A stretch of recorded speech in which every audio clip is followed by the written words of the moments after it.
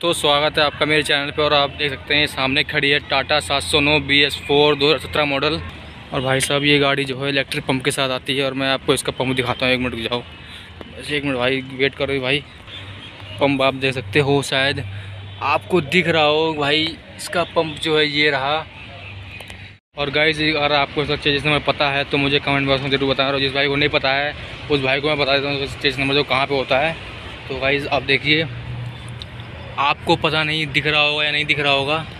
भाई, मैं आपको थोड़ा जूम करके दिखा देता हूँ कि इसका चेज नंबर कहाँ पे होता है।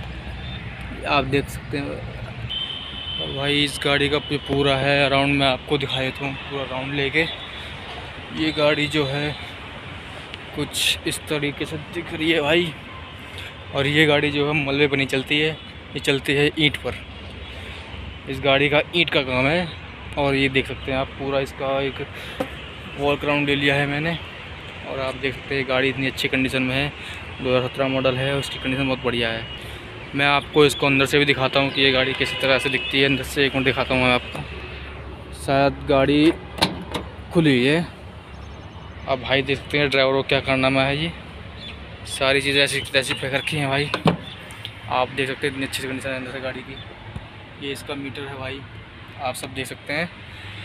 कुछ इस तरीके की कंडीशन अंदर से गाड़ी की।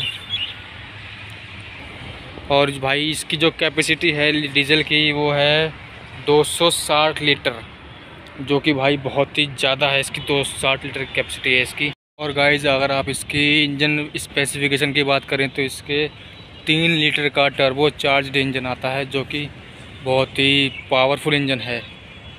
और ये आराम से नौ या दस टन आराम से खींच सकती है गाड़ी, जो कि ईंटों पर चलती है।